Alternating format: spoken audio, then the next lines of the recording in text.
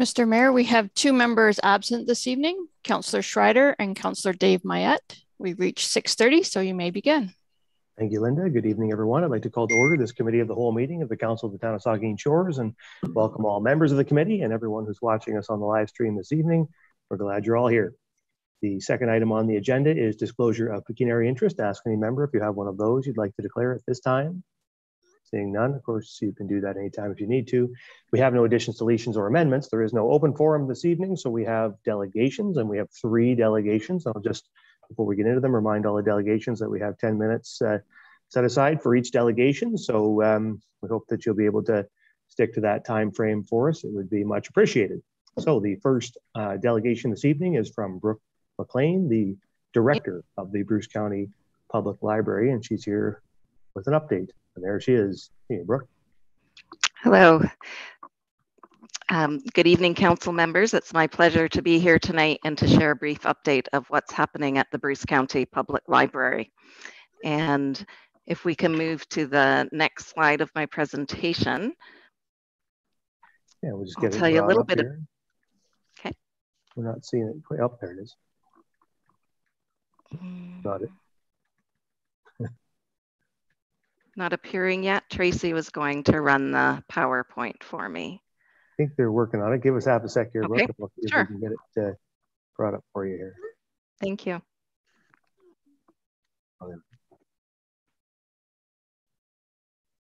Perfect. So if we can go to the next slide about Bruce County Public Library.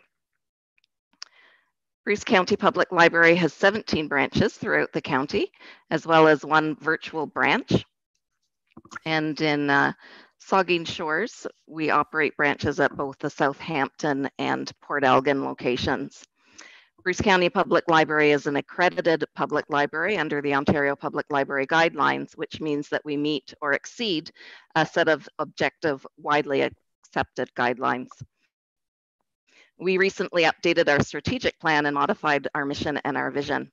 Our mission is to provide all the information, knowledge, and entertainment resources you need to achieve your goals, foster your interests, and realize your dreams. Our vision is that as a trusted community contributor, we're building a future of innovative ways for you to read, connect, learn, and discover. Next slide, please. So our mission has really been highlighted since the pandemic began. And in 2019, the last year before COVID interrupted everything, BCPL impacted the lives of 23,000 people through 2,600 library programs. Prior to COVID, Bruce County Public Library did not offer any online programming, but last year we presented 292 online programs with nearly 9,000 attendees. And I would encourage you, if you haven't had a chance to see some of the outstanding programming that our innovative staff are doing, have a look at our YouTube channel to check that out. And next slide, please. Well, Bruce County Public Library always strives to support our communities.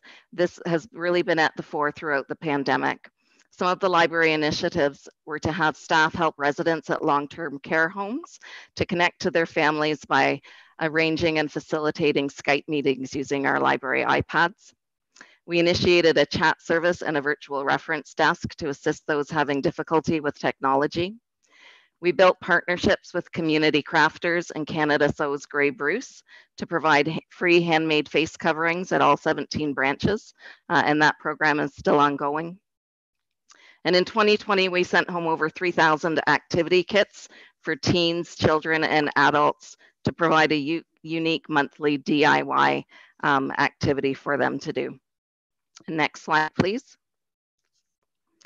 So funding from the NWMO and the Society of Engineering Professionals has allowed us to purchase 3D printers. Uh, we use these to pr print ear savers for our paramedics and distributed them to their patrons in our branches as well. We've also printed nose pieces for um, anybody that wears glasses with their masks. They've been really handy to stop them from fogging up. Those have also been distributed through our library branches.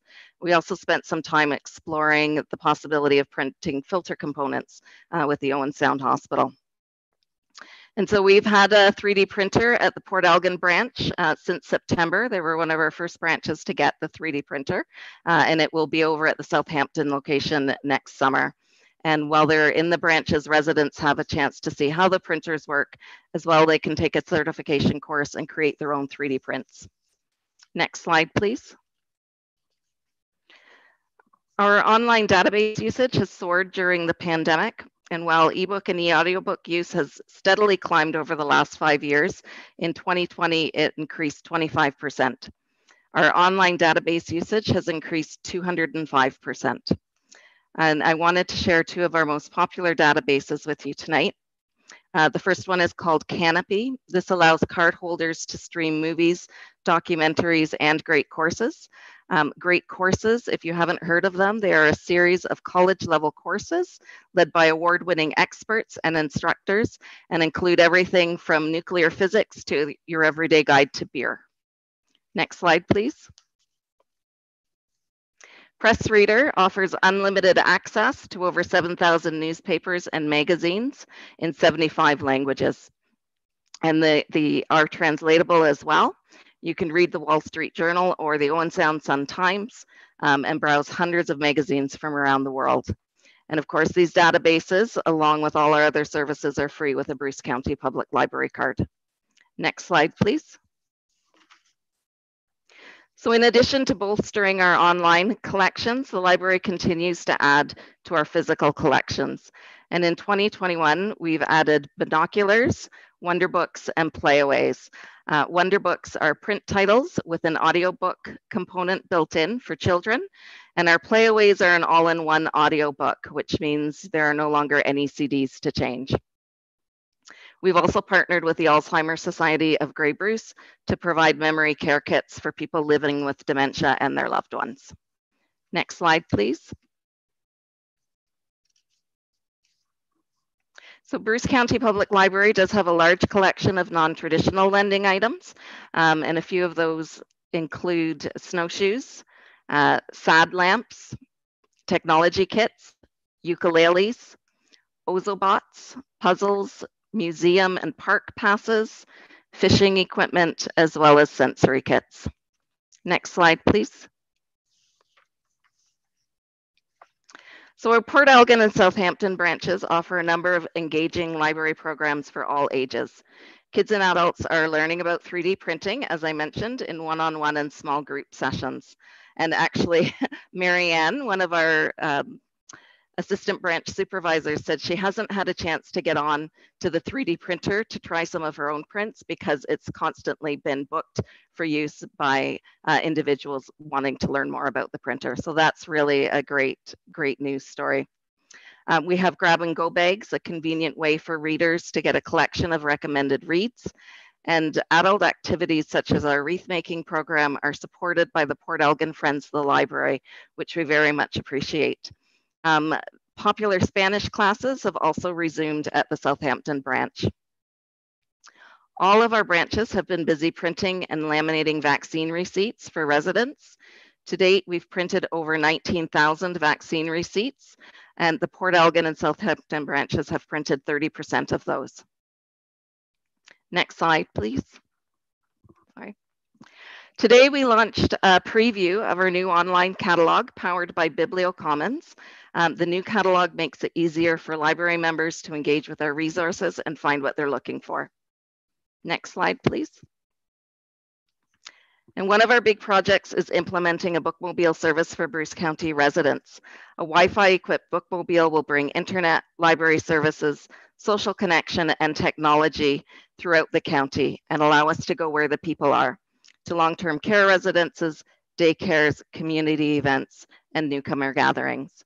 And we are currently fundraising to purchase the bookmobile and hope to launch it in 2022.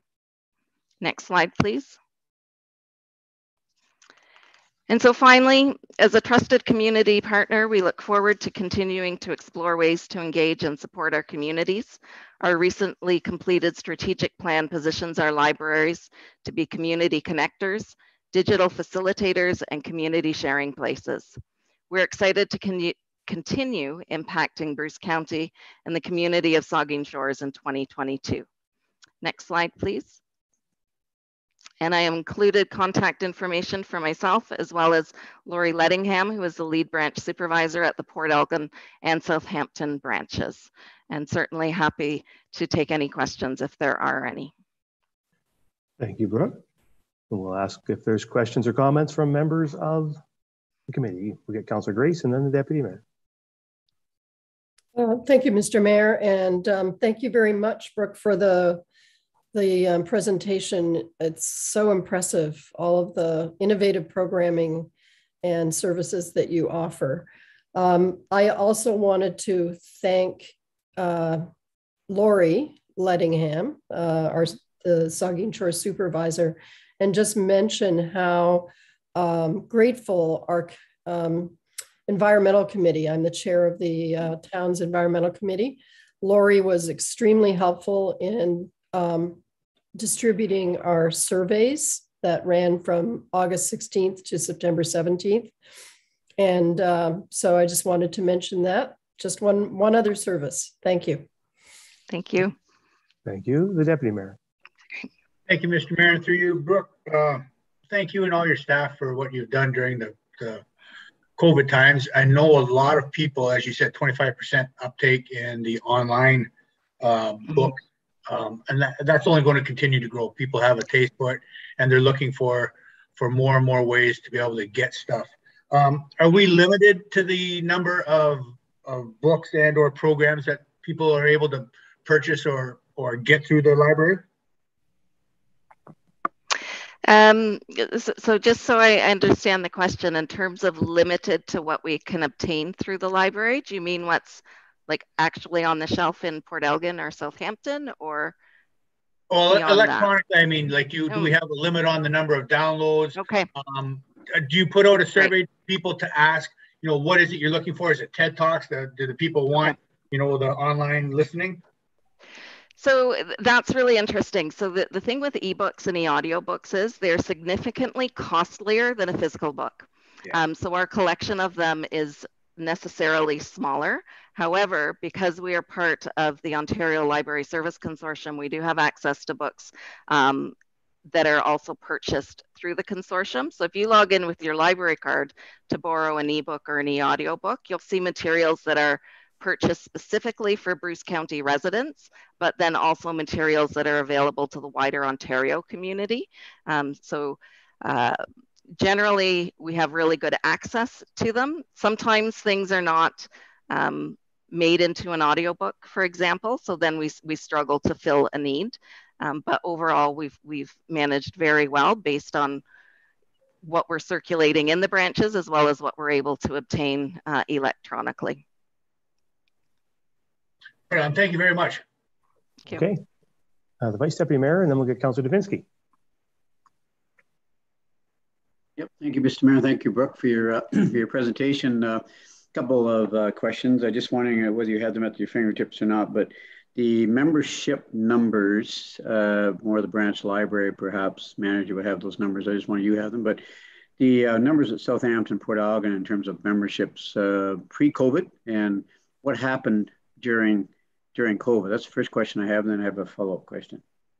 Okay, so I can speak to the active members that we had in June of 2021. We had just under 2,000 at the Port Elgin branch and about 1,300 at the Southampton branch.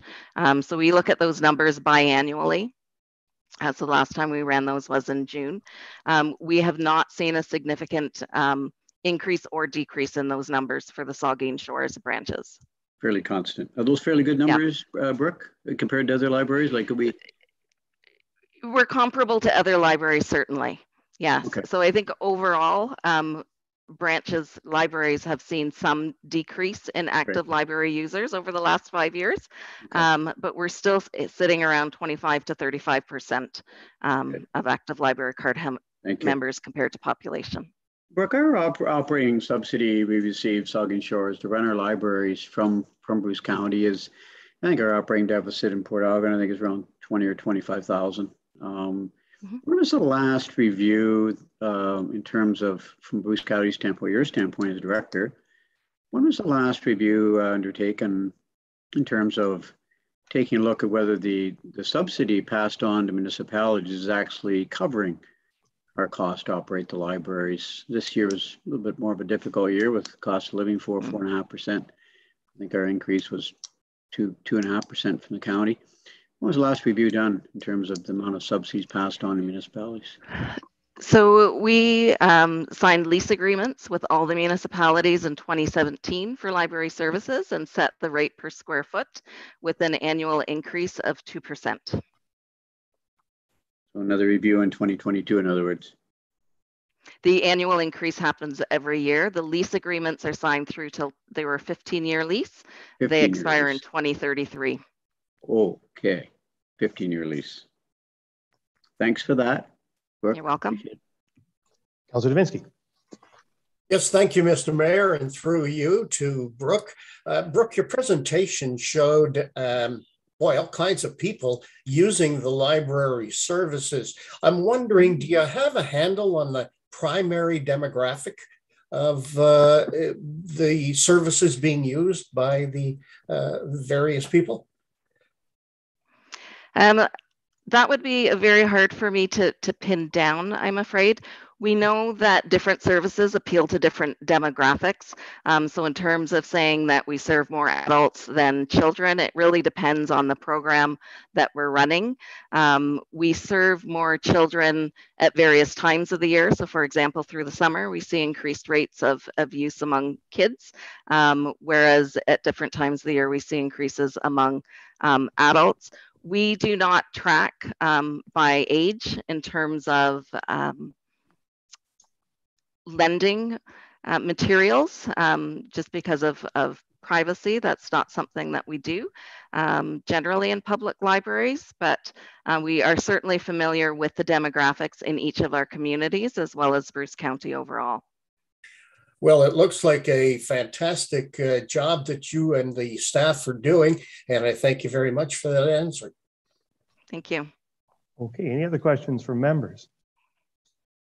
See any. Well, thank you, Brooke. Uh, the uh, Bruce County Libraries are uh, really, uh, I mean, some of our libraries uh, in Saugeen Shores have been around for, um, you know, over 100 years, the Port Elgin Library. Uh, and um, you know, so they're long-standing institutions and they're really important institutions, particularly, you know, when you think about it, um, there are very few places where you can walk into without a purpose, uh, just to go in and, and be and, and sit and, and hang out if you want to, or read a book or whatever. Most places, like, you know, you think about our arenas or our, um, or, or businesses or whatever, you have to go in and have a purpose, right? You have to have an appointment, you have to have a, a reason to be there, but not in your libraries. Your libraries are there for for the people to use and to do that uh, freely and and um, um, those are precious institutions. Those, that's an important thing to have in our community in our downtowns, and we have we're fortunate to have one in both downtown Southampton and downtown Port Elgin, and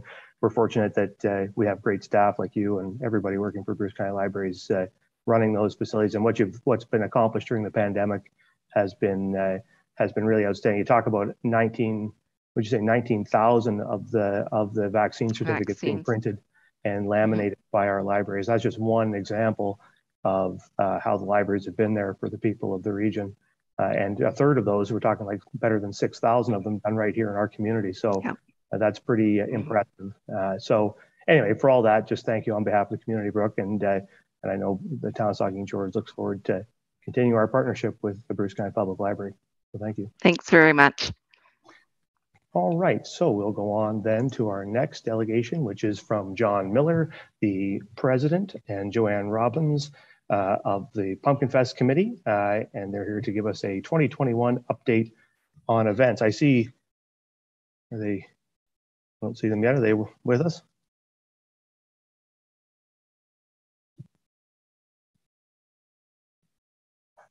Oh, here's Joanne. You guys there, Joanne and John? We are. Of course, my computer skills are as slow as ever, but uh, all right. I hope you don't hold that against us here. Um, again, Your Worship and Council, I want to thank you for the opportunity to come before you tonight. Um, it's always important for us to uh, update everyone, to uh, let let everyone know what we're up to. And again, Joanne is with me. So if we don't get something right, or I don't get something right, Joanne will be here to correct me. And the other thing is, of course, as always, is um, these things are quick, they're short, that's what they're meant to be. So we always encourage not only the public, but also, um, you know, town staff, council to reach out to us anytime. It's one of our specialties. Uh, you know, we prefer before midnight, but again, after midnight, one of the two of us is usually available too, doing something. So we can always be reached. It's the last Linda for slides. Yeah, Linda is going to look after our slides, I believe, Tracy. or Tracy.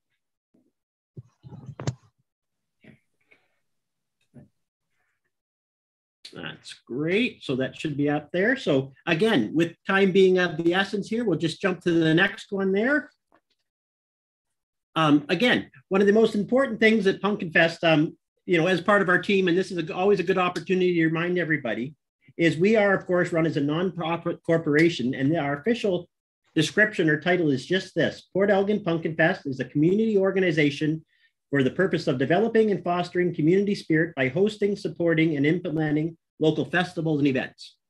Um, again, this is our specialty. This is what we do. Um, we have a great team that works on this. Of course, everybody knows our event. But again, to get there and to get to that point, we work on a number of other activities. Um, again, tourism, beach market, the resource center, and of course, Pumpkin Fest itself. So that's one of the sort of main events tonight. Uh, I'll skip to the next slide here. Um, again, Pumpkin Fest, Saugeen Shores Tourism. This was a unique opportunity that came up this year. Um, working with Shannon of the uh, supervisor there for tourism. Um, we had an opportunity this year through a contract. Um, I believe it's actually been reported back in October, but uh, to work directly with tourism in Saugeen Shores, um, help put in place some priority items. Uh, we were successful in, uh, you know, having two of our tourism or tourism students that we were able to get grants for this summer, Pumpkin Fest, but they were able to put some time in there. Um, again, updated the tourism website and a couple of strong business activities, you know, accommodation activities, things that this town needs. Important to, uh, as we come out of COVID, as always, know what we have available and make sure we're getting our best bang for the buck out of that. So that was a specialty thing this year. It was a one year contract. Um, but again, it worked well in both cases. And I think Shannon was pretty happy with us. And I know we were happy with everything, you know, that we were able to accomplish working with her. Um, again, next slide. The uh, beach market, of course, everybody knows the Port Elgin Beach Market. It used to be the uh, Port Elgin Tourist Association Beach Market, and uh, now it's just become more the Port Elgin Beach Market. Uh, 1990 or 2019 was our first year, very successful. Took over what was already a strong event and just improved on it. Then, of course, we got whammied like everybody else with COVID. Um, through a lot of hard work in 2021, we did open it up. Um, again, we want to thank our friends both at CCV and, of course, the town for working with us because, again, um, everything from limited vendors, as you can see, to the uh, you know PPE costs, the amount of activities, the setup, the tear down, as that site was isn't exactly in what I would call a market ready condition right now. Uh, something I know we're working on all the time. But again, we did have a very successful event. Um, again, we lost one week because of weather, but I think that's kind of a normal in Port Elgin. We always get that one Wednesday that's just not safe to be there. Um, again, I think you can tell by the averages, the amount of vendors that we had. And I am pleased to announce that basically we broke even this year. Didn't cost us anything to run. And uh, the uh, strong points being, of course, is that we did provide a service. We gave people something to do. We had some great activities. Uh, we got some great feedback from local people. Love to see you there. Love to see you down there. Um, and then again, through donations at the door, you know, we have the big um, admission of 25 cents a person, but some people were very generous this year. So we were, you know, we're able to put, you know, another four or $5,000 in donations that of course go right back into the resource center. Again, very important part of what we're doing and has never been more important when it comes to running events under this uh, current climate here of the PPE alone and the, uh, you know, the hand sanitizers. To have those available, not just on a wall or like everybody has at their front door, but actually have them to be moved around, um, shared with some of our partners. Um, and again, attendance was good. We got what we wanted out of it. Of course, loved working with both the BIA and the Heritage in Southampton. Their Friday market took off like a, an amazing event. Um, so again, we're going to get together and talk about that for next year, but it was quite successful by all means. Um, next slide here. Uh, the Resource Center. Again, I always call our lovely Resource Center the most if most communities have no idea that we have such an event here, such a facility, uh, we have our little barn. Um, again, you know, we still were able to help even under these circumstances, 25 local events. These are things simple as tables, chairs, garbage cans, signposts, stuff all stored in one location and shared. Um, again, I know not all councilors have had a thing, um, especially new councilor, Mr. Divinski. I don't know if we ever had you offer to get into that shed, um, but we always invite everybody to come down in the spring, see what we've got. Um, there's this big, there's this big peerless in the way now, so I don't think we'll get into see too much now until spring, but uh, we always look forward to that. Um, again, you know, we did we, we lost a number of events this year, but I think it's resource center has never been more important because again, we want these events to come back and continue in the future.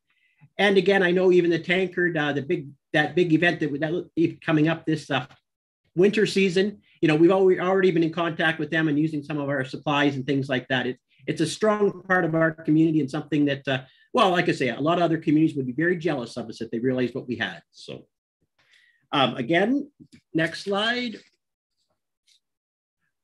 Um, again, let's talk about Pumpkin Fest this year. This is the blockbuster. This is our king. This is what we we do it for.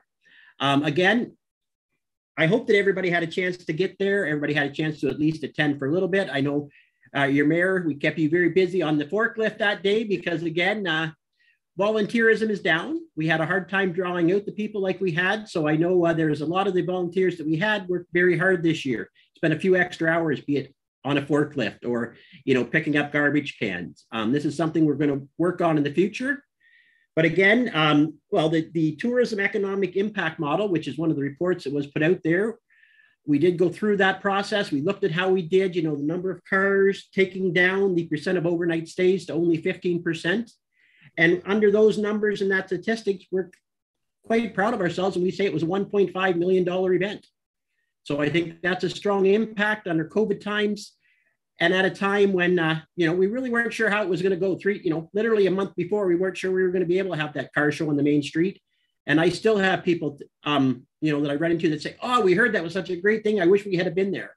And isn't that what it's all about? You know making sure that the people look, something look forward to. And again um, also through contracts you know some of our fundraising groups events that couldn't do their own events this year were able to help us out at the doors or help us with the fencing and things like that. So it was a good way to spread the spread the wealth around and give people that you know maybe hadn't had a chance to be involved with us other years. You know, some years we have 40 plus different groups. We didn't have room for that many this year, but we were able to ones. And again, they all worked very hard. Um, when the paperwork is done and everything breaks out, I think we everything, you know, we paid for this year event. Didn't cost us anything as, as it, we sit around the table and as the president especially knowing that there's no checkbooks have to come out to cover the debt as has been done in our 35 year history before um, you know it was a good year that way. We do look forward to the future and uh, seeing you know what comes next. Um, again speaking of what comes next that brings us to uh, where we are now um, the tourism contract, of course, was just a one-year contract, so the town is, um, you know, taking on that role, and they've moved into some of the plans, and they're working on that office. So that funding may not be available to us this year. Uh, again, the market, the same thing. There's always a lot of questions as we move forward. Um, we will definitely be working with the two other markets. Um, you know, both the BIA market up in Southampton, or uh, the Southampton on the Friday, or no, that's Marine Heritage. Yes, Marine Heritage. My apologies, Marine Heritage and the Port Elgin BIA up on the uh, Wednesday market on the main street. You know, we'll definitely be meeting with them early next year to keep this going. Uh, the Resource Center, um, again, team will continue to be involved there. We're working very closely with Marine Heritage. Uh, you know, we were able to get the Peerless in there, so it's got proper storage for the winter this year, help out on that. And again, uh, those guys are great on some of the maintenance issues. I'm not very good with a hammer, they tell me. So uh, some of those guys in the Marine Heritage can really help out a building, fix up a window. So that's been a strong part of it. Uh, Pumpkin Fest itself, we, um, well, I think the problem we looked around our meeting and most of our board that was there was 35 years older than when we started. So again, I, I know that makes Joanne 45, but the rest of us, it makes a little older. Um, so again, we are going to be having to do some restudying in January. We're going to look and see what's coming this year, how we're going to do it. Um, our weekend warriors, as they call them, it's amazing what one year off, and then you go to the next year and you realize how many volunteers you need to properly look after and handle that. Again, this is our signature event. We make no bones about it. This is what, you know, I truly believe that the only reason Ontario Tourism uses Pumpkin Fests on most of their brochures and pumpkins now is because of what our festival and what we've been able to accomplish here in Port Elgin. So again, we're looking forward to the next 35 years. But with that being said, we do understand we've got some strong opportunities to, uh, you know, make some changes, and maybe this is the time to go about how we do it for the future. Um, so again, uh, again, I want to thank everybody. I want to thank the town staff, the uh, from the guys that helped us out with the barricades that weekend to the, um, you know, the town guys that were picking up the garbage. Um, I mean, uh, it's always a big deal that they really put their hands off this year. I know they're always willing to help, but this year seemed extra special. Um, again, we encourage everybody, if you haven't taken it, take a brief through. There's some great entertainment. See the weigh offs, see the car show entries on pumpkinfest.org. It's there. And again, like I say, we're looking forward to next year, but like we are very realistic in that we've got some planning and issues to work on. So again, any questions or we won't take up too much more time, but if there is some questions, we'd love to answer. Thank you, John and Joanne. Questions or comments from members of the committee, the Vice Deputy Mayor?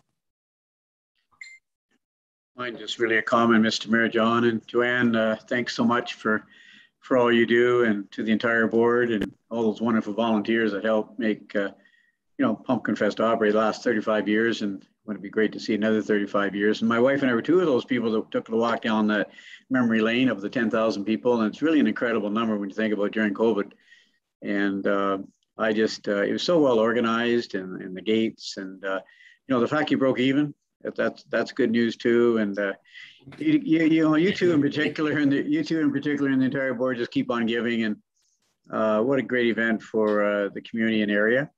So I just want to say thank you, John. Thank you, Joanne, and all your board members and volunteers for just another job. Really, really well done. I really appreciate all you do. Okay. Uh, yeah, we'll get Councillor Smith and then Councillor Grace. Thank you, and through you, uh, my sincere appreciation as well for all that you and your board have done. But uh, I was particularly intrigued by your mention of the Port Elgin BIA market and ways in which we can work together. Uh, I sit on that board and I'm very much looking forward to ways we can collaborate and make that a, a mutually successful event for the beach market in future years. Excellent. Thank you. Councillor Grace. Uh, thank you, Mr. Mayor. And um, through you, thank you, John and Joanne, um, and your whole team for everything you do. Um, I wanted to uh, particularly um, recognize the Event Resource Center uh, because I do think that is innovative, an innovative model, really, uh, for other communities to look at. And um, it, it's very inspiring to see that kind of partnership and uh, collaborative support among all of those groups and making those resources available to, um, you know, not to be competing, but really to support each other. So thank you for that aspect of all your work too. Very good. Further questions or comments? Councilor Divinski. Yes, uh, through you, Mr. Mayor. Thank you very much, uh, John and Joanne. And uh, having covered Pumpkin Fest, if you will, from a news media point of view, uh, I've never seen anything like it. And uh, it has run so smoothly. And uh, every once in a while, there might be a blip, and yet that blip is solved right then and there. So I just wanted to thank you for a well-oiled, uh, well-run machine, and I'm taking you up on that offer this spring, that invite. Very good.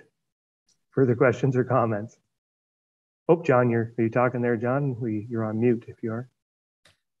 No, we were just saying we will so. We will so. Oh, very good.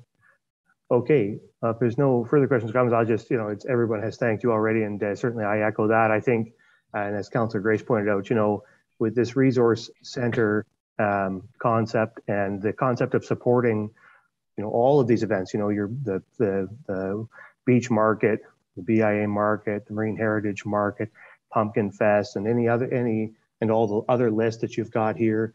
You know, one of the biggest issues with getting people to um, create new events and volunteer for events is, you know, if you want to run a fish fry, what you want to do is go fry some fish. You don't want to spend a bunch of time looking for garbage cans and where do I get the picnic tables and how do I get the snow fence or whatever it is I need to get. So to have those resources available right at people's fingertips so that they can get to doing what they want to be doing.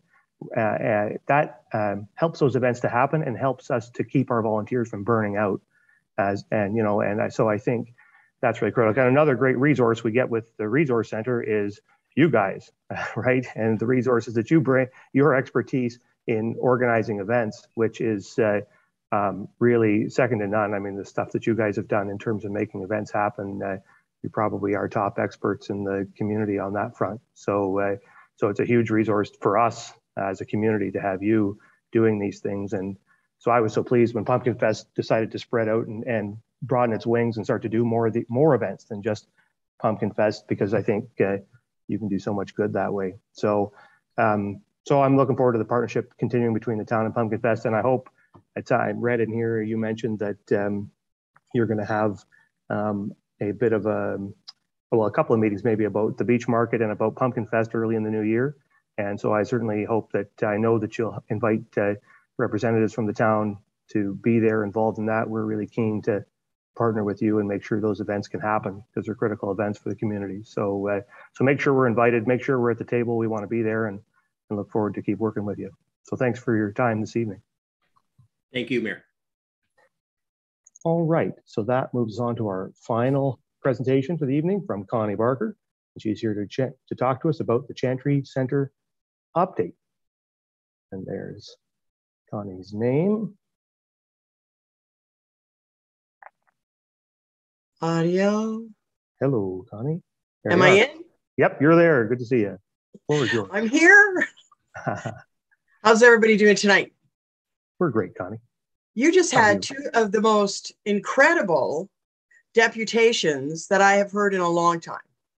Both of them were fabulous. and we saved the best for last, Connie. We saved the best for last. Your Honor, uh, Deputy Mayor Don, Vice Deputy Mayor Mike, and councilors. I'm here to talk to you about the Chantry Center. We've got our partners lined up.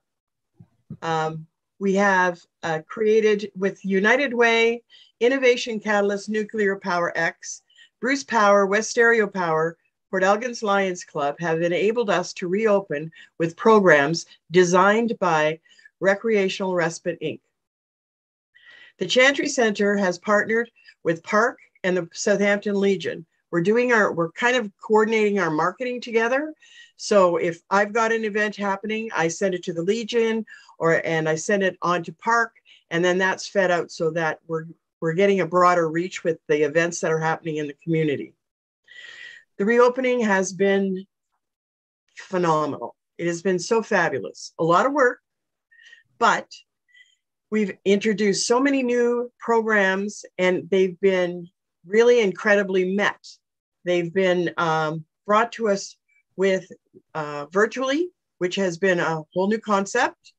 I myself will um, say that this is, I find difficult to get my head around, but I'm learning really quickly here. Um, we had a wellness program, we had creative writing, Bon Appetit, where I invited everybody into the kitchen. Um, we had eight people participate.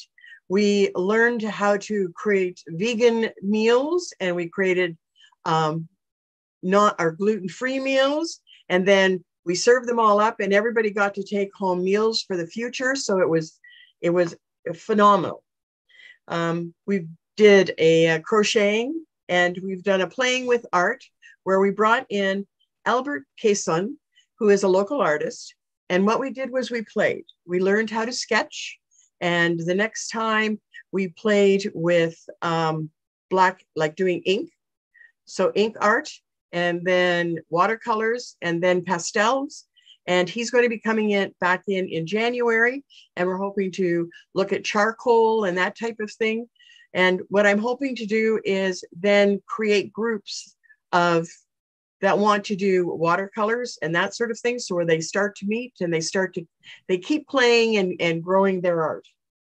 Um, I have winter programs set up, which are armchair travel, um, growing herbs, getting out of uh, getting your gardens ready. And this is where I've already uh, mentioned to the mayor that I'd really like to draw him in as a guest speaker because I know that people would be really interested in how the farm gets going in the spring and uh, fiber arts. So recreational respite with Amy and her team have enabled us to learn new things, teaching us how to virtually open the world up and to learn and stay in contact with each other. We still have past members who are staying home. Actually, they some came out and some are going back home again. Um, but we're trying to keep everybody safe. I'm in constant contact with Grey Bruce Regional Health Services to make sure that we're doing it right. Um, it's been a hard two years. We've uh, been able to pay our bills. We've been able to keep the doors open. Um, but we're just starting to get forward. So that's why I sent forward the ask for the funds for senior programming. As a volunteer, it's really difficult to try to do a lot of these things. But bringing in a company like Amy's was so instrumental in showing us and opening up those other avenues. Um, so that was the part where uh, really made it a lot easier for to, to get the opening up going. The introduction, the introduction of the new programs has helped bring in new members into the center, and we continue to introduce new workshops with learning opportunities. We have done well, but we definitely do have a long way to go. Um, we were uh, successful in getting a grant from the, and I want to say it correctly, uh, community or uh, community uh, foundation um, of Grey Bruce, and they've given us some extra money. So I've got a bigger TV on order, and it's going to have a, a camera on the top of it so you can see the whole room when you're doing this stuff.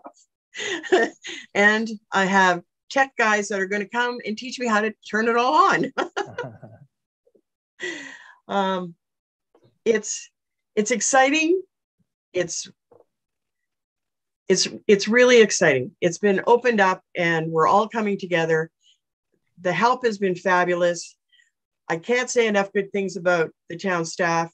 Um, whenever I hit a, a, a slidey part or a scary part that I'm not sure of, all I have to do is call Tracy or Colleen or any of them, and they're absolutely there for me. So they've been absolutely fabulous.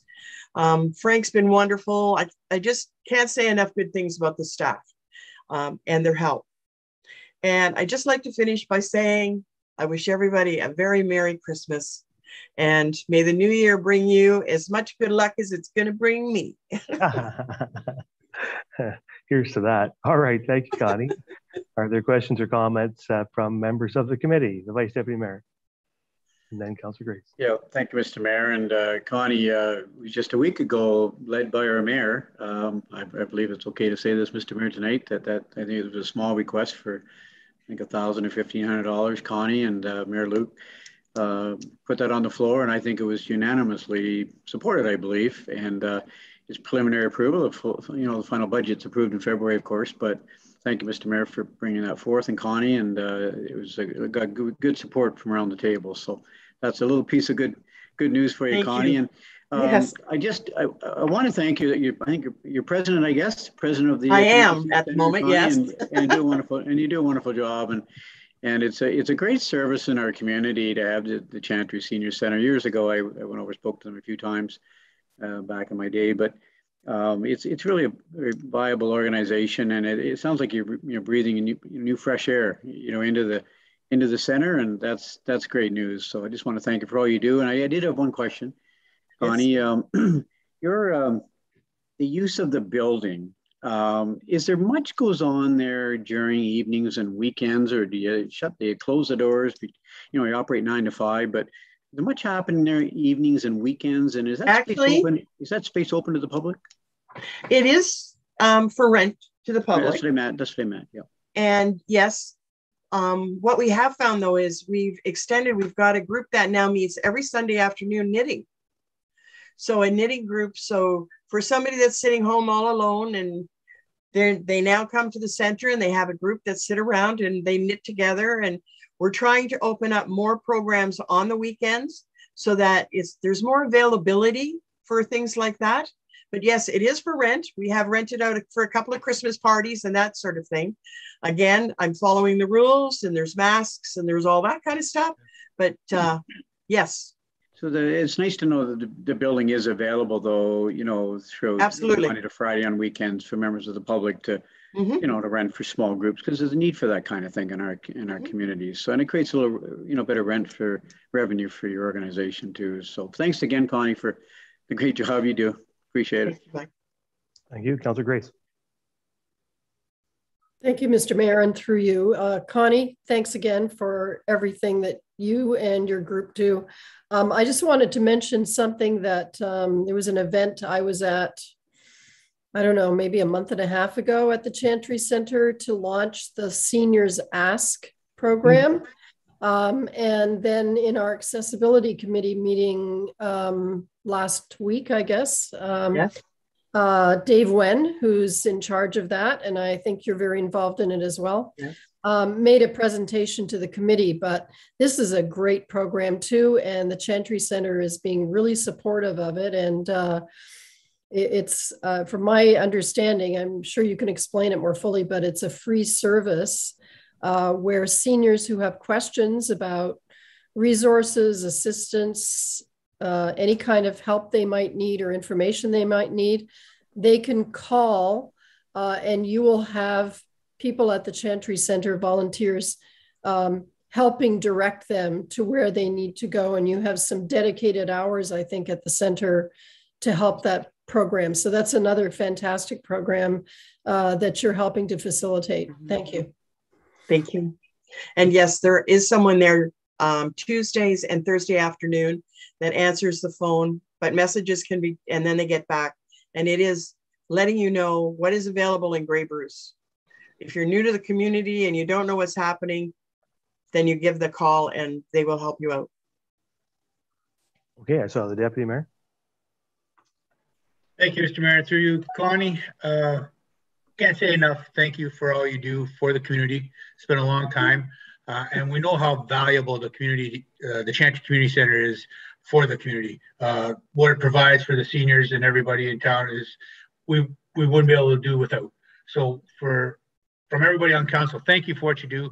If there's anything you need, you know, you just come knocking and let us know and we'll try to do our best to make sure that you have what you need. Thank you. Vice Deputy Mayor. Sorry, I meant to ask this question. Connie, I'm just wondering, um, over the course of the year, I, I do receive, you know, the odd request for for seniors in our community that require, you know, require income tax services. And I'm just wondering if that's something that, um, you know, for basic, and I'm talking about basic, uh, very basic income tax returns. Is that something Chantry Senior Center has ever considered where you, uh, you know, provide a couple, you know, try and recruit a couple volunteers, former retired accountants or whatever, where you can help with with income tax returns. I do receive that request from time to time. It's just something, No, Jim, we've I just want to just want to plant the seed with you, you know, just a thought. Oh, that's great. We've never looked at it. Um, and I'm sure that if we put a, a shout out, we might get something organized that we Okay. could help out. There's a real, I think, I think there's a real need there. Anyways, okay. Councillor Actually, just um, this is a piece of information I picked up during the Seniors Ask presentation at the Accessibility Committee last week. Um, that uh, MP Lobb's office will provide that kind of assistance. Oh, perfect. Oh, we're solving all sorts of problems here.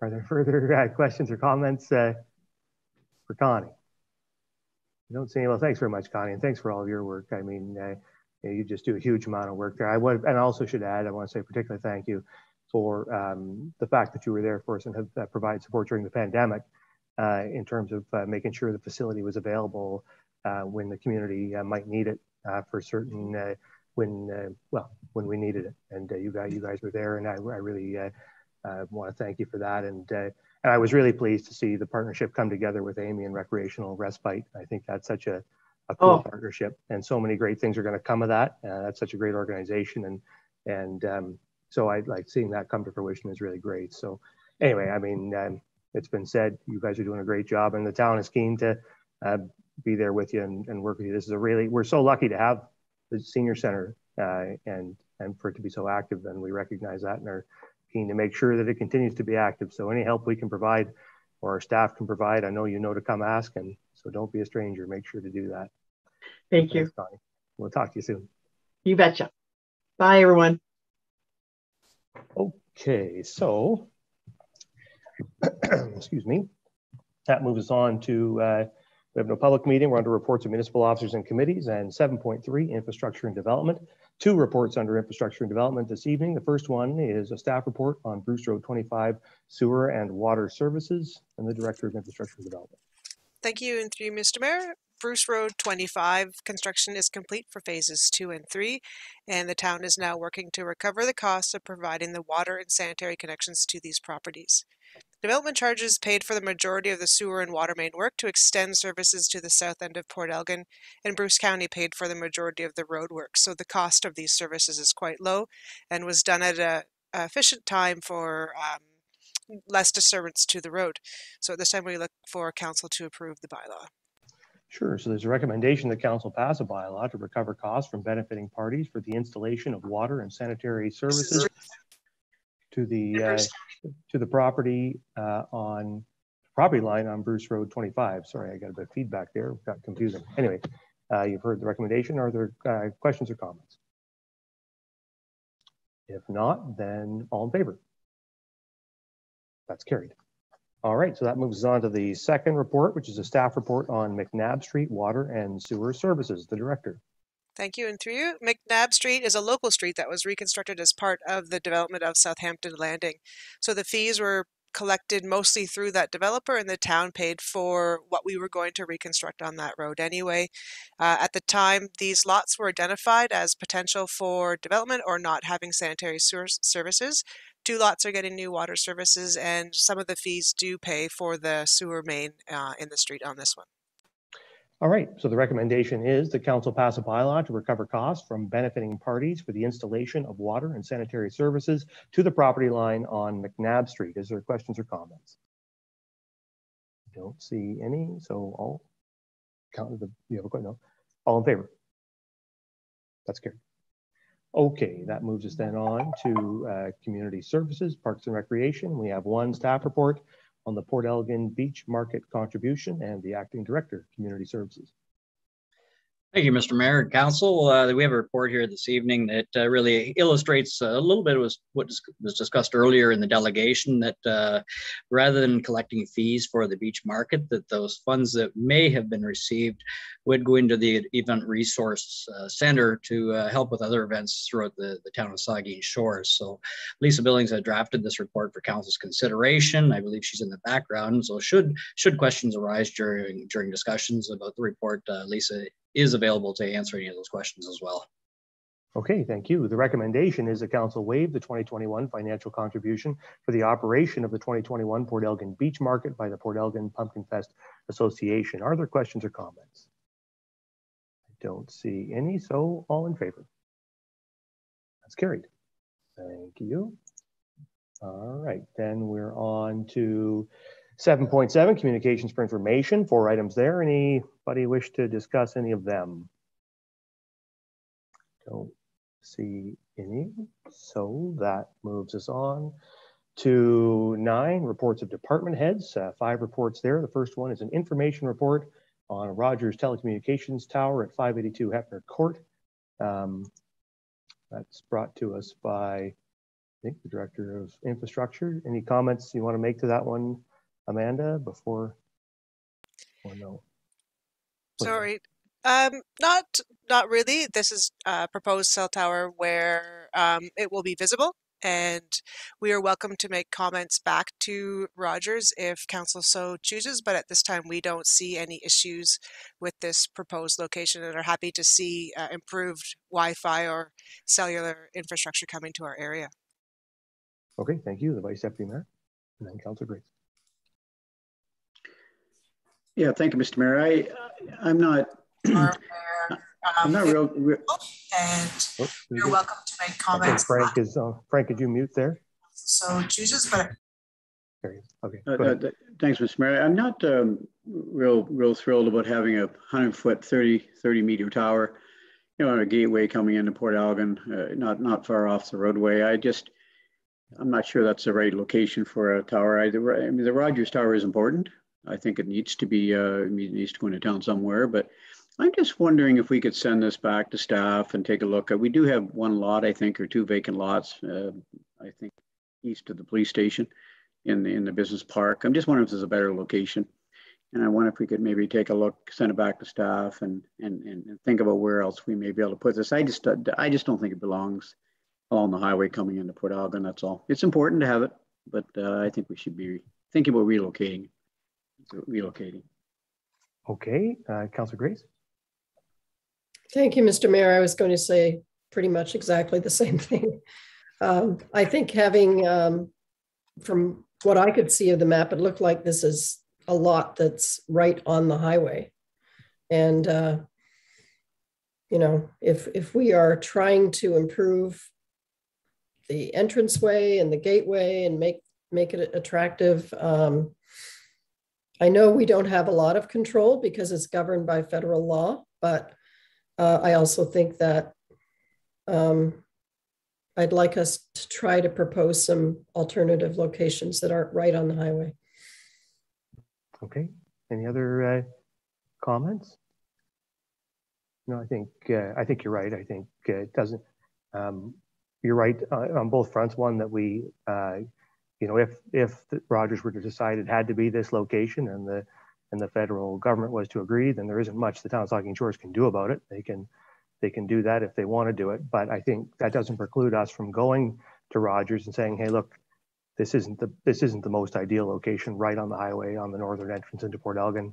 Maybe there's maybe we can help you find a, a location not far from there that's a little further off the highway where uh, the impact to that uh, entry is mitigated. Obviously, this tower, these towers are necessary. You know, we need these services, and and we understand Rogers's need to improve their service. Uh, so we want to make sure they get that tower built.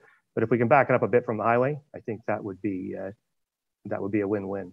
So uh, I don't know, Amanda, is there, uh, um, can we, uh, can staff, uh, can council ask staff to, to engage with Rogers on this and, and see if we can influence their decision on this?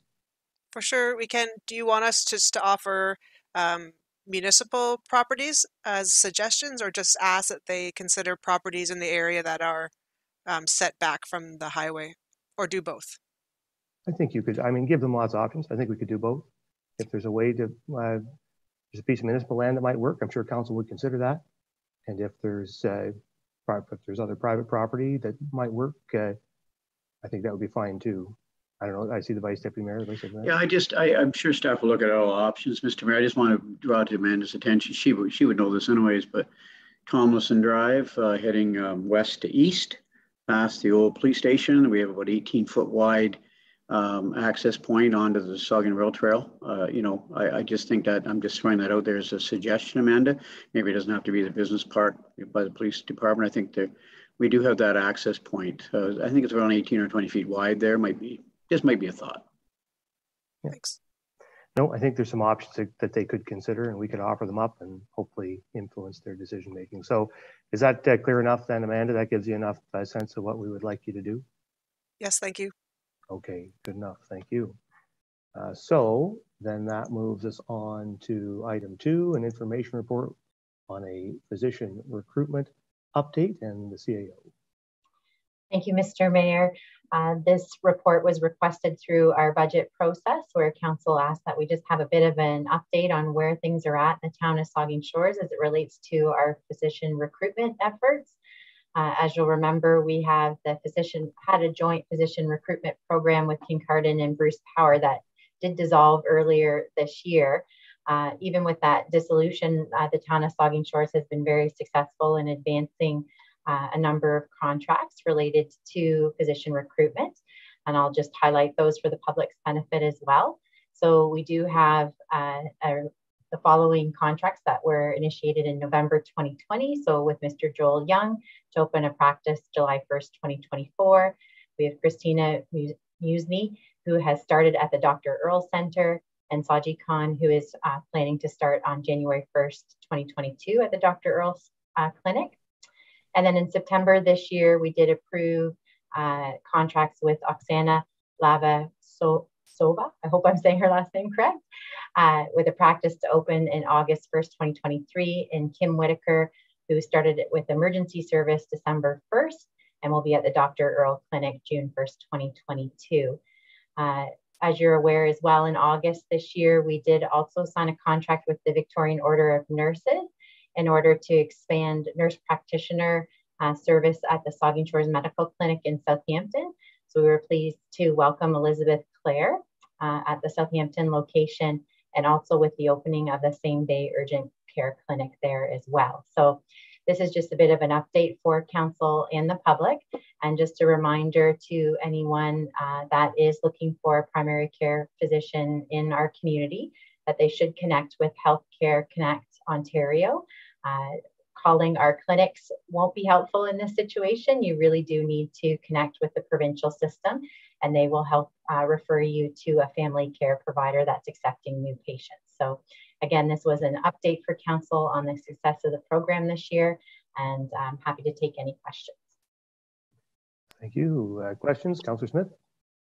Thank you, and through you, Mr. Mayor. Um, I had the privilege of meeting, uh, interviewing, well, meeting virtually and uh, interviewing a number of the individuals on this list, and I have found them to be all a wonderful fit to our community. I'm delighted to see some of the unique and innovative ways in which we've um, sought recruitment initiatives, particularly with Dr. Joel Young.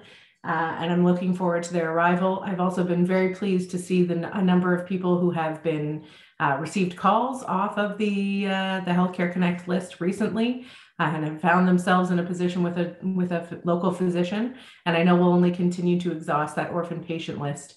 Uh, I did want to give particular recognition to our former Director of Protective Services who worked tirelessly on a number of these agreements um, and, uh, and, and worked to come up with some innovative solutions. And thank you to him for his, his work on this project. Thank you. Further uh, questions or comments to this report, the Vice Deputy Mayor? Mr. Mayor, I just wanted to echo, um, you know, thank you, uh, Councillor Smith, for all the great work you've done with physician recruitment and and uh, you, you, know, I uh, we've said in the past that one orphan patient is one too many, and and I think with all these good announcements, uh, hopefully that orphan patient list we can, you know, once and for all get it down to zero. Wouldn't that be wonderful? And Kara mentioned I pulled up this number before the meeting just to remind people if it's okay if I put it on the air, but it's a Healthcare Connect. It's really important that people do register because they do take those patients off that Healthcare Connect list. And I'm, I'm just going to throw the number out there for people listening. Um, it's 1 866 532 3161. So 1 866 532 3161. If you don't have a family doctor, or you're moving in from out of town, you want to de-roster and get on a new roster, uh, it's really important to register with Healthcare Connect. So I just want to mention that. Thank you. Thank you. Further uh, questions or comments? Yeah, I think, uh, you know, we need to get to the point where uh, we're a growing community and where everybody who moves here can get a primary care provider. That's a that's a critical component to being a successful community. And uh, frankly, we're being more successful than almost any other community our size at recruiting physicians and primary care providers. Um, this is a this is a long list of people coming to our community. A couple of them starting in 2022, 2023, and uh, one in 2024. Uh, so they're rolling out over the next uh, three years, starting immediately uh, one January 1st, coming up here, so just in a few weeks. So, uh, so I think folks uh, should feel really good about the success that the town of Saugeen Shores is having recruiting primary care providers, and I think people should feel good that you know if you move to the town of Saugeen Shores, you're going to be able to get a doctor, and uh, that's uh, part of the the selling proposition of our community. That's a pretty critical component. So. Uh, so thanks to our staff for all the work and the physician recruitment committee, Councillor Smith, and everyone on that committee um, we look forward to more successes going forward. I think it's important to note these, though we do have a long list, these efforts don't stop. Uh, they continue. That we we um, we need to continue to recruit because we're growing and because we always have to deal with retirements of our existing doctors uh, going forward. So um, so we're going to be keeping this up, and, uh, and we're looking forward to that. So thanks for that report. uh, Kara, and that moves us then on to item three, an information report on snowmobile access to Port Elgin via the Mill Creek Bridge and the acting director of community services. Thank you, Mr. Mayor. Uh, brief report this evening outlining uh, some of the details that uh, really come out of the delegation at the October 25th council meeting with the uh, the Saugeen Rail Trail Association and their concerns regarding uh, snowmobile use on a short section of trail uh, abutting uh, Lamont Sports Park. So we did meet on site on November 9th. We went through a number of the concerns that were addressed, including the, the fencing, the signage, uh, the actual physical location of the trail, where it would run. Uh, we did have representatives uh, attend from the Saugeen Rail Trail Association, the Snowmobile Club, uh, the, the county, the police department had a representative there, and obviously community services staff attended that meeting. So although consensus was not reached at that point, I think we have came a long way to address a lot of the concerns primarily re revolving around safety and uh, safety for all people, including snowmobilers and pedestrians. So I, I will reiterate, we, we are talking about a very short section of trail um, going back in uh, to the initial discussions that started in early 2021 and trying to find a, a, method to alleviate the concerns with snowmobiles using the bridge along the, uh, the county road or the side roads. So we did come up with a solution and consensus. We thought we had consensus to move forward with that, but we did have representatives from, again, the Snowmobile Club, uh, the county, the Saugeen Rail Trail Association, uh, and, staff, and I believe a couple members of council were also involved in some of those discussions. So this goes back quite some time and trying to find a solution to the snowmobile use on, a, on an unsafe road. And I think we've come up with the, the best solution that we can, and council has previously approved the uh, the, the notion that snowmobile trail be permitted in that section of trail behind Lamont Sports Park. Uh, and again, I can't I can't stress enough, but it is a very short section of trail measures are being put in place to uh, mitigate any concerns that could could pop up. The Snowmobile Club and the OFSC has very stringent requirements in terms of signage, uh, markings, and, and, all those safety precautions that will be in place. So again, this report is uh, an information for council. Uh, you can take uh, any questions. Uh, Frank Burrows again is online as well. Should questions arise. Thank you, Steve. Are there questions or comments from members of the committee? Councillor Divinski and Councillor Grace. Thank you, Mr. Mayor. And uh, through you to either Steve Hardy or Frank Burrows, I was speaking with uh, Frank uh, earlier today via email. And there was one line that stood out because people are going to read these reports, and it says regarding the snowmobile trail to minimize shared trail use with pedestrians and snowmobiles. A preferred route was selected mostly through Lamont Sports Park. And people could see that and say, oh no, what are we doing here? I think, Steve, you have uh, explained it admirably. I wonder if Frank had anything further to add to that or either one of you. Thank you.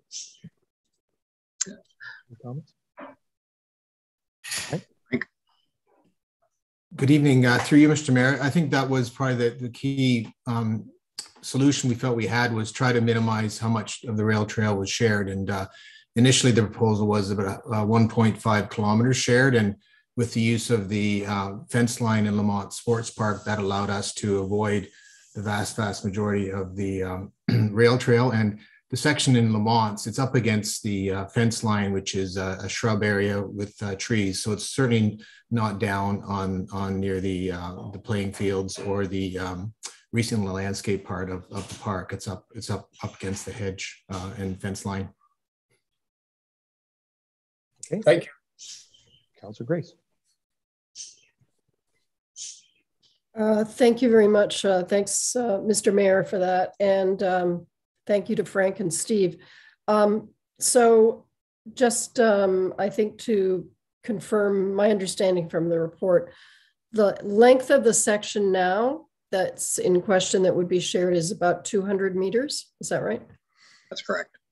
And um, I know that one of the concerns of the um, of some of the rail trail um, board was about the width and um, the feasibility of of that shared space.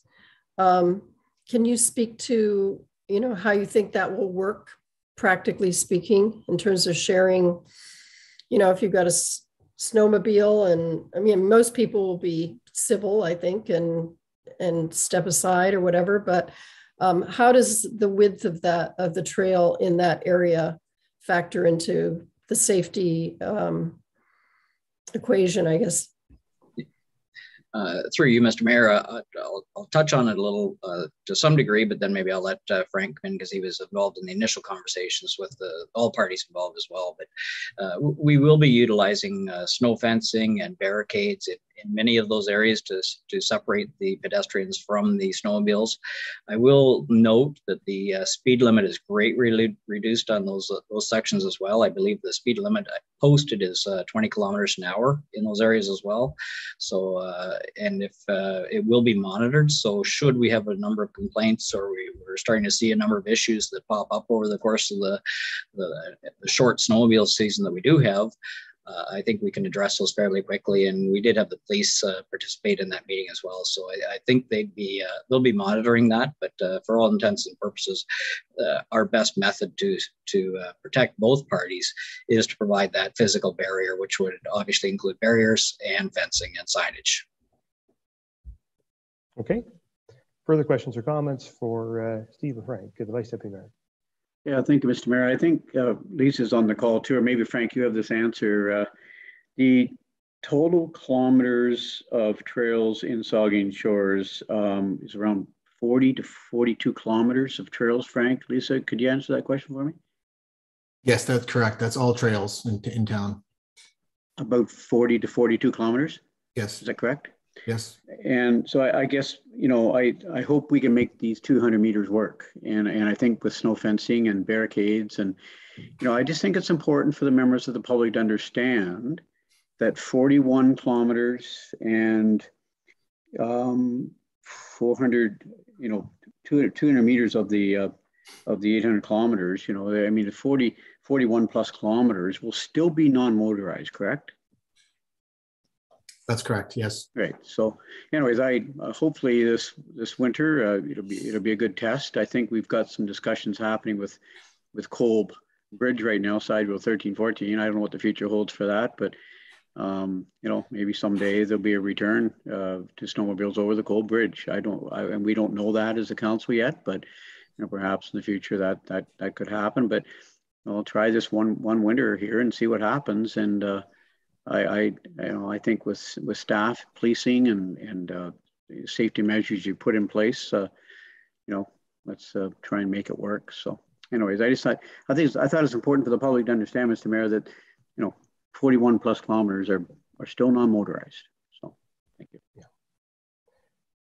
Further questions or comments?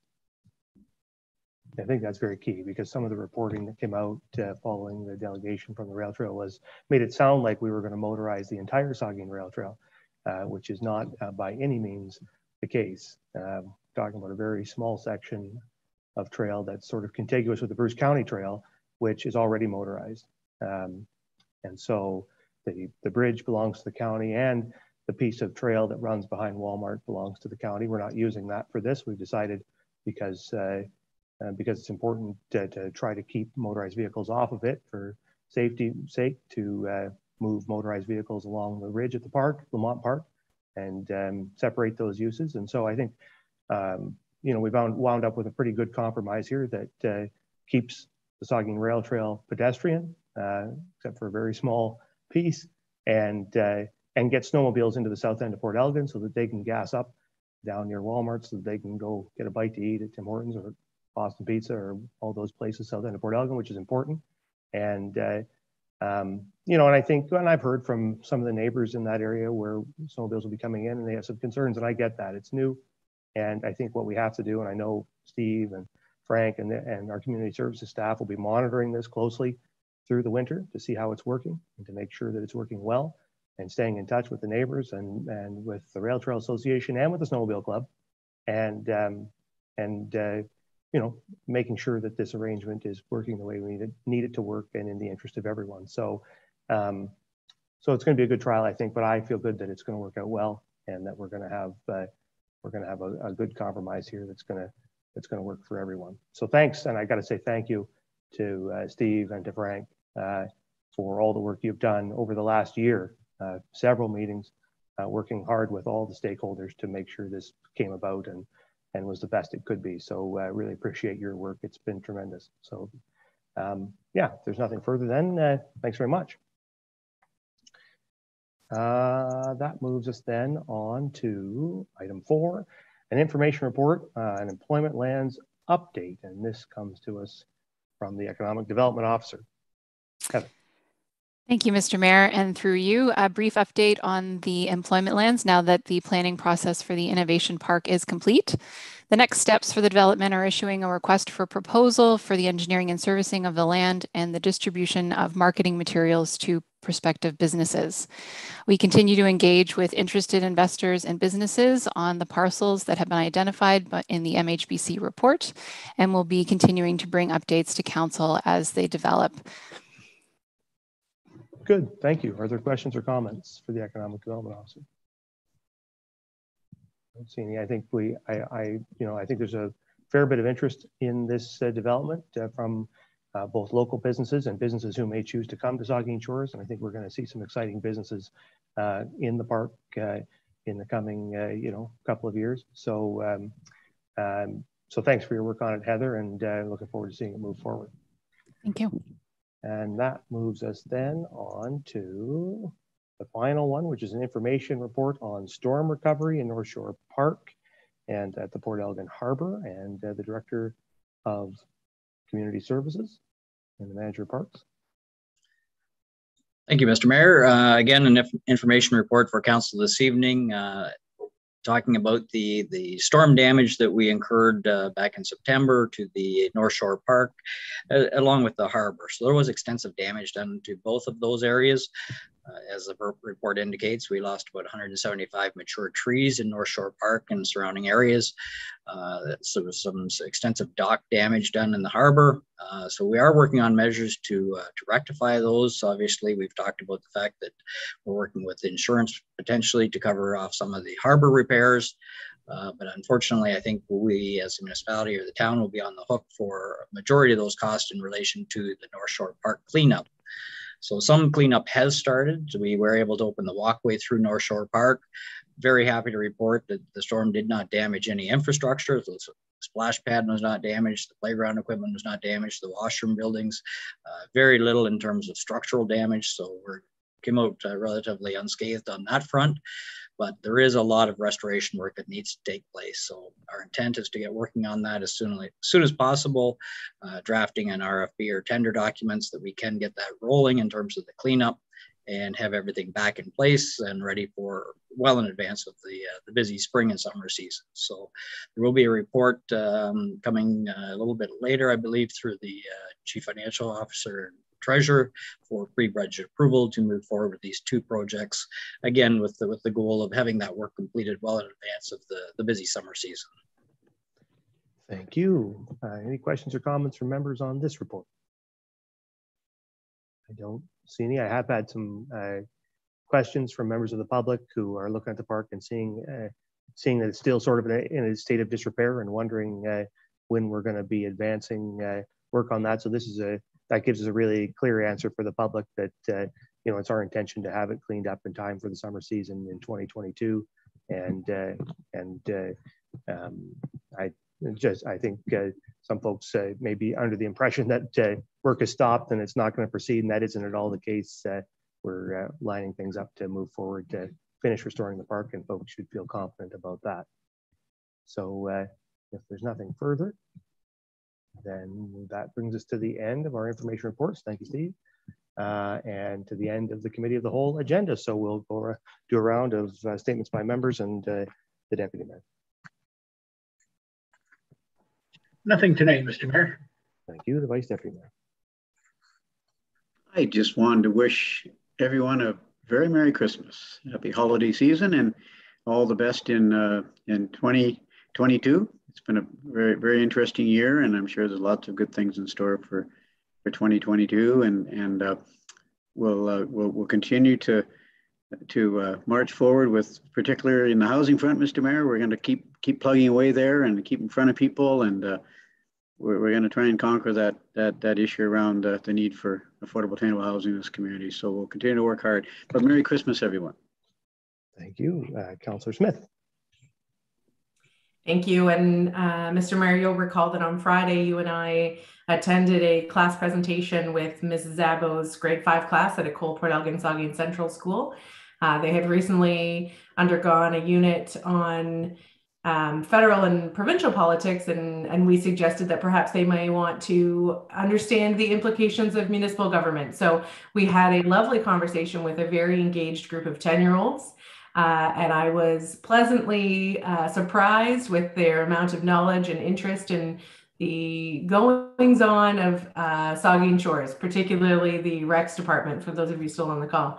Uh, but it was a great experience, and thank you, Mr. Mayor, for joining me, uh, and thanks to the class. Thank you. Yeah, it was lots of fun. Uh, further comments, Councillor Grace. Uh, thank you, Mr. Mayor. A um, couple of things tonight. Um, first, I wanted to um, uh, recognize all of, uh, well, all of the volunteers and particularly the Saugeen Shores Rotary Club and Brenda Elliott, um, who worked on the Southampton Santa Claus Parade, uh, which was held last week, uh, as well as the Fairy Lake Memorial Holiday Lights Project. Um, and you know, I can say that um, both projects bring a lot of joy and happiness to the community. And uh, I really appreciate that. And if you haven't had the opportunity to see the lights at Fairy Lake, visit it. It really is a magical setting. Um, last night, the Chantry Singers and Southampton United Church and the Saugeen Shores Ecumenical Community uh, came together to present a wonderful online presentation of their annual lessons and carols. And uh, I think everyone misses being together uh, in the church for this wonderful event, but this was the next best thing. And it was also uh, an important fundraiser for the Women's House serving Gray, uh, Bruce and Gray. And finally, uh, on December 6th, the CFUW Southport held its annual vigil to honor the victims of the 1989 Montreal massacre.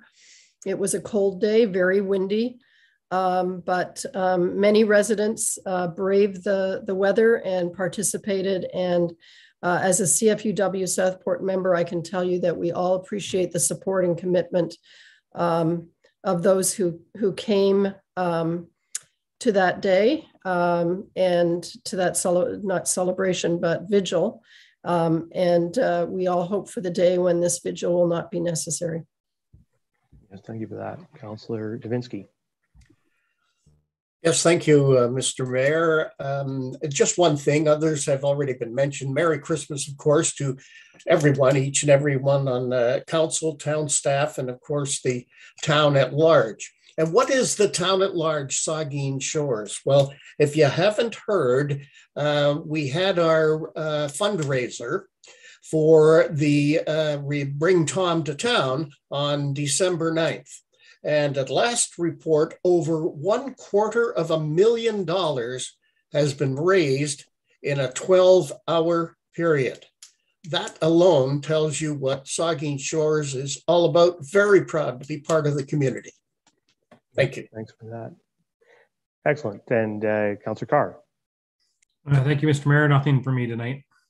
Very good. Well, you guys have covered a lot. Oh, I had been a busy couple of weeks. I did also, in addition to what's been said, want to mention uh, that the Saugeen Shores Chamber of Commerce had their annual an, annual general meeting on the 6th of December, and I wanted to congratulate on behalf of the municipality uh, Michelle K. Scott, uh, the new president of the Saugeen Shores Chamber of Commerce, uh, as well as the new uh, board of directors at the chamber. Uh, obviously, a really important partner uh, for the municipality, and uh, um, just very was glad to be there and and have a chance to chat at their annual general meeting. Hopefully, before too long, it'll be in person again because that's that's way better. But it was good nonetheless. And um, yeah, actually, I think you guys covered the rest of it. So I'll just uh, conclude. This is our last uh, committee of the whole meeting before the holidays. So uh, a Merry Christmas to each of you and to everyone who's watching uh, at home and to the whole community and uh, and all the best in 2022. Hope it's happy and healthy for you all. So with that, uh, we'll take a motion to adjourn, moved by the Deputy Mayor, seconded by Councillor Divinski. All in favor? The committee stands adjourned. We'll reconvene at five after eight. There, Mr. Mayor, we have all members returned to the meeting. As noted earlier, we have Councillor Shrider and Councillor Dave Myette absent. All other members are here. You may begin. Thank you, Linda. Then we'll call to order this regular council meeting. And uh, the second item on the agenda is disclosures of pecuniary interest. Ask any member if you have one of those you'd like to declare. Seeing none, I'll remind you you can declare one anytime if you need to. The next is additions, deletions, amendments. We don't have any of those. We have no public meeting. So that moves on to adoption of the minutes. And we have the regular council minutes of November 22nd, 2021, special council minutes of November 22nd, the committee of the whole minutes of November 22nd, and our budget meeting minutes of November 30th and December 7th, 2021. And I have a resolution that council adopt the minutes of council meetings of November 22nd, 2021, and note and file the minutes of the committee of the whole meeting of November 22nd, 2021, the budget minutes of November 30th and December 7th, 2021 as presented. Is the remover and seconder. Moved by the vice deputy mayor, second by the deputy mayor. Any questions or comments to any of those sets of minutes? Seeing none, all in favor? That's carried. All right, that moves us on then to reports of the Committee of the Whole. And the first is General Government Report regarding the Cedar Crescent Village. And there's a resolution that Council adopt the General Government Report dated November 22nd, 2021, recommending that Council approve an amendment, approve and yes, an amendment to Schedule A of the land lease agreement for the Cedar Crescent Village, and the council directs staff to work with the proponent to develop a complete set of project plans for the entire site to support a site works and servicing agreement that would update Schedule D of the lease and update the leasable area. Is there a mover and second? Moved by the deputy mayor, seconded by Councilor Grace. Questions or comments? Councilor Grace? Thank you, Mr. Mayor. Um, and through you, a question to the CAO. Um, when do you anticipate that um, the site servicing plan and the specifics of that agreement will be presented to council? Yeah, thank you for the question. And through you, Mr. Mayor, we're targeting right now to come back to council on January 10th with the complete set of the project plans and the site works and servicing agreement. And that would also amend the lease agreement. Schedule D is outlined here. Okay, any further questions or comments? Seeing none, then all in favor? That's carried.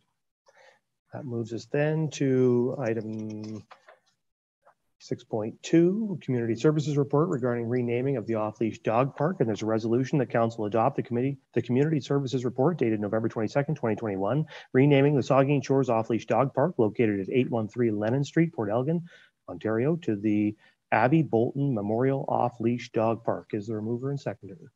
Moved by the Vice Deputy Mayor, seconded by Councillor Carr. Any questions or comments?